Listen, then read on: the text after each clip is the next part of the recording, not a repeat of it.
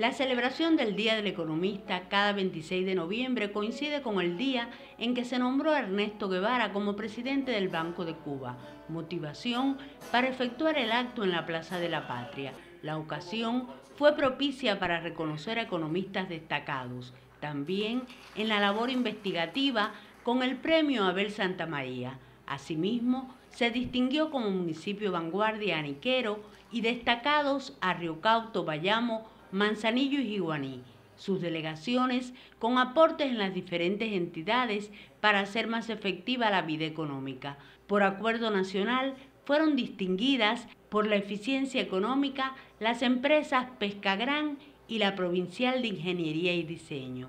La Contraloría entregó un reconocimiento a los economistas por sus aportes. La gratitud del colectivo se manifestó a Hugo Ortiz, quien por más de 21 años se desempeñó con la meritoria labor en las tareas del Ejecutivo de la organización.